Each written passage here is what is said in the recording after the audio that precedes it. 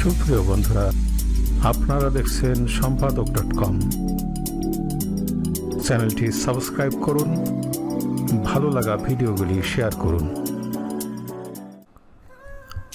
সুষুপ্ত পাঠকের মন্তব্য প্রতিবেদন, শাহরিয়ার কবিররা এভাবে ভাস্কর্য পাহারা দিয়ে কতদিন রাখতে পারবেন?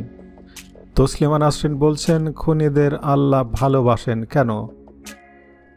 তসলিমা নাসরিন ও সুসুপ্ত পাঠকের মন্তব্য প্রতিবেদন থেকে আজকের বিশেষ প্রতিবেদন। তসলিমা নাসরিন বলছেন, খুনিদের আল্লাহ ভালোবাসেন কেন?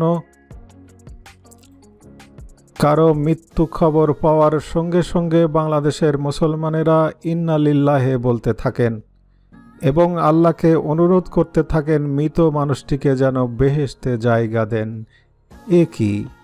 আল্লাহ কি দেশের কেরানিদের মতো সুপারিশে কাজ করেন? পার্শিয়ালটির জায়গা আছে আল্লাহর কাছে? যার জন্য বেশি সুপারিশ আসবে, তাকে কি আল্লাহ বেহেশতে পাঠাবেন? আর যার জন্য সুপারিশ আসবে না, তাকে দোজখে? আল্লাহ কি যে মানুষটি মারা গেল, তার পাপ পুণ্য হিসেব করে বেহেস দোজকের ব্যবস্থা করবেন না? নাকি আল্লাহ আগে থেকেই লিখে রাখেন না কে কোথায় যাবে? আল্লাহ কি জুকারবার্গের মতো? হাসরের ময়দান কি ফেসবুক নাকি? যে যার নামে রিপোর্ট যত বেশি পড়বে তাকে ফেসবুকে শাস্তি দেওয়ার মতো, যার নামে সুপারিশ বেশি পড়বে তাকে বেহেস্তে নসিব করা হবে। আল্লাহর ভক্তরা আল্লাহর যে চরিত্র গেছেন তা ভয়ঙ্কর। আল্লাহ নাকি বিধর্মীদের খুন করলে খুশি হন, আর আদর করে খুনিকে কোনো রকম বিচার টিসার ছাড়াই বেহেস্তে জায়গা দেন। আল্লাহ নাকি নিজের সৃষ্টিকে আগুনে পুড়িয়ে, পুজ খাইয়ে, গায়ে গরম পানি ঢেলে কষ্ট যন্ত্রণা দেওয়ার জন্য দোজক বানিয়েছেন। আবার এই আল্লাহ নাকি তার সৃষ্ট মানুষদের খুব ভালোবাসেন।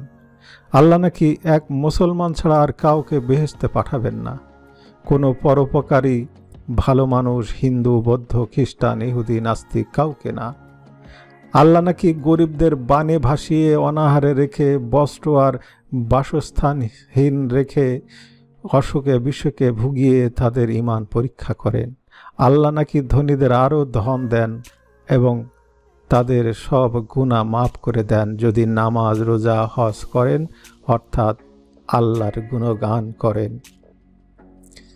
দুনিয়াতে আল্লাহর মতো এমন চরিত্র পেলে আল্লাহর ভক্ত মানুষরাই তো গালি দেবেন।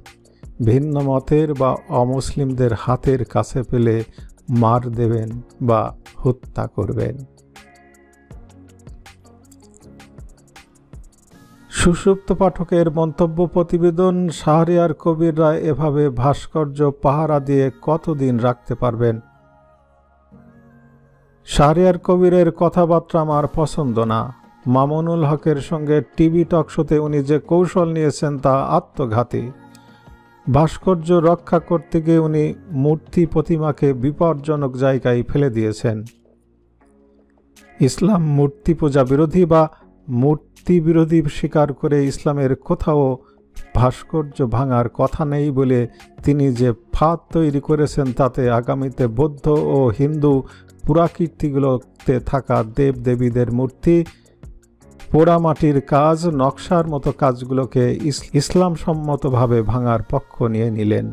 শাহরিয়ার কবির বারবার সৌদি আরব, মিশর, তুরস্কের উদাহরণ দিয়ে ভাস্কর্যকে ডিফেন্স করতে চেয়েছেন, যেখানে মামুনুল হক বারবার কোরআন হাদিসের রেফারেন্স দিয়েছেন।